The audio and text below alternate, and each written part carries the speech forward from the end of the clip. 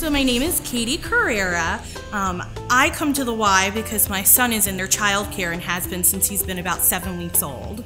I enjoy most about the Y the the face that I see every morning when I come in, and that is Sir Damon right here.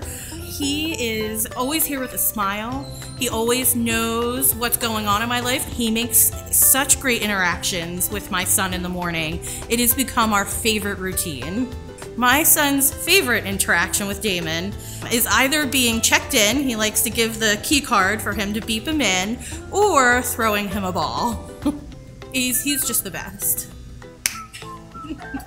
I enjoy working at the Y because of all of the faces that I get to see, all the people that I get to meet and have met. Everybody's got a story, so I just kind of want to know what the story is. As much as, you know, I feel like I get to know them, they also get to know me and they've made it feel a lot like home.